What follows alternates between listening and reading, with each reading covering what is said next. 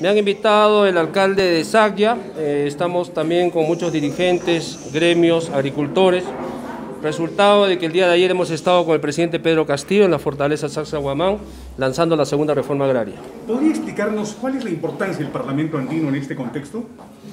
Nosotros estamos desarrollando ahora el tema y el objetivo de descentralizar nuestras funciones. El Parlamento andino ha existido, pero de repente ustedes mismos no lo conocen. Es por eso que este nuevo Parlamento andino, el, que, el cual me honro en presidir, yo soy vicepresidente, tiene como función primordial estratégica trabajar de forma más cercana con las comunidades nativas, campesinas, agricultores, transportistas, jóvenes, estudiantes, organizaciones vecinales, sindicatos. Y es por ello que estamos aperturando el diálogo con diferentes comunidades, regiones. Y hoy por hoy hemos estado en, en Cusco, y de una u otra forma vamos a tener un enlace más rápido con la gente. Me alegro, don Fernando. Sin embargo, usted no podrá dejar de admitir de que ese Parlamento andino durante los años pasados no sirvió para gran cosa en el país. Es cierto, es por eso que tenemos que darle la otra forma de trabajo, un trabajo más cercano a la población, ya no va a ser los parlamentos andinos de té, de café, de reuniones, de viajes. Hoy por hoy tenemos que seguir ensuciándonos los zapatos. Quien le habla es presidente del Frente Nacional de los Pueblos Unidos del Perú. Sé lo que es luchar contra la corrupción, sé lo que es caminar con los maiceros, con los arroceros, con los azucareros y necesitamos apoyar a nuestro presidente Pedro Castillo y no podemos hacerlo en siete paredes o en, de repente en cuatro paredes o encerrados en nuestra oficina. ¿Y cuál será el rol del Departamento Andino en esta segunda reforma agraria que ha sido propuesta por el gobierno? Nosotros vamos a colaborar en el fortalecimiento de la capacitación de nuestros agricultores. Anteriormente hubieron algunos errores y hoy por hoy el presidente tiene que desarrollar con el ministro de Agricultura grandes ejes importantes en la sostenibilidad de nuestros agricultores y sobre todo apoyarlos en el tema de las vías, porque hay muchos agricultores que tienen sus productos ni siquiera los pueden transportar. ¿Qué ejes son los que ustedes están planteando, por ejemplo? ¿Cuáles son esos grandes ejes?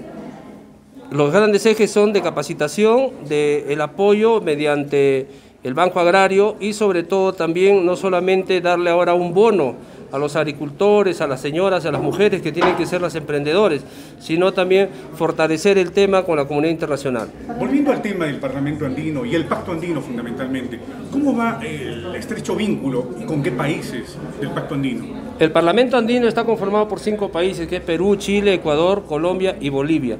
En ese sentido, estamos desarrollando marcos normativos, eh, la industrialización de todo lo que es el arte, la cultura, el tema de los recursos hídricos, el fortalecimiento de los partidos políticos, la integración latinoamericana, la unidad continental y el Cusco como ciudad histórica va a ser el despegue, sobre todo apoyando al presidente. El tema arancelario, ¿lo están viendo ustedes también? Por ejemplo, la relación de Perú-Bolivia, ¿cómo marcha?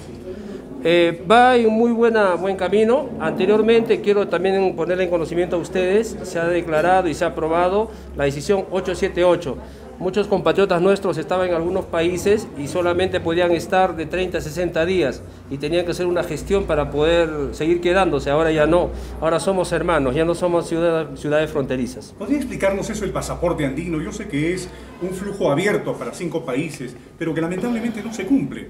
Claro, eh, nosotros queremos hacer algo como la Comunidad Económica Europea hasta de repente nuestra propia moneda. ¿Integrar monedas? Integrar monedas, una sola moneda para toda la comunidad andina de los cinco países y vamos a tener un objetivo de desarrollar y romper esquemas, romper fronteras, no solamente cinco países, que vengan más países. Tenemos dos países veedores que son eh, Turquía y Marruecos. Y en ese sentido necesitamos fortalecer también la Comunidad Económica Europea. Quien le habla también es la, de la, forma parte de la Comisión de Eurolat y también de pueblos originarios. ¿Y el pasaporte ya no se necesitaría en estos cinco países? Así es, somos hermanos. ¿Cuánto tiempo falta para hacer realidad ese sueño? Eh, yo pienso que de acuerdo a la agenda parlamentaria que hemos desarrollado en Colombia y en Quito, no creo que pase de cinco meses.